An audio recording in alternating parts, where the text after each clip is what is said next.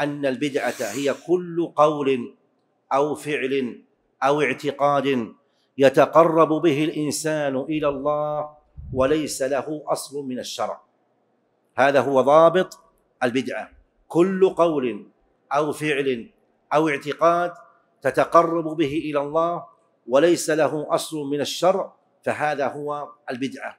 فمثلا إنسان صار يذكر الله تعالى على صفة معينة مثلا كل يوم يقول الله أكبر الله أكبر الله أكبر مئة مرة أو مئتي مرة. هنا تعبد لله عز وجل لكن هذه العبادة لم يرد بها الشرع. إذا يكون بدعة سواء في أصل العبادة أم في وصفها. فكونه مثلا يأتي بذكر من الأذكار ويحدد له زمنا معينا أو عددا معينا هذا بدعة. مثلا لو كان يقرأ كل صباح بعد الفجر سورة الصمد. قل هو الله أحد.